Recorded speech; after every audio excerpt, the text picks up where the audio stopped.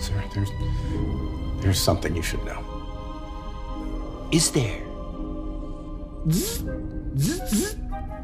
After you vanished, the government dissolved all record of your identity. Who? What?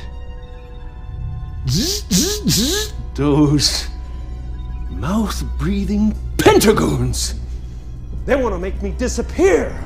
Like they did Taylor Lautner and the ShamWow guy.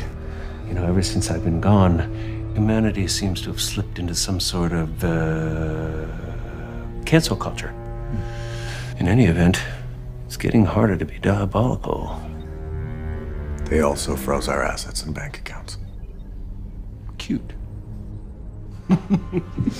Nothing a few seconds of crowdfunding and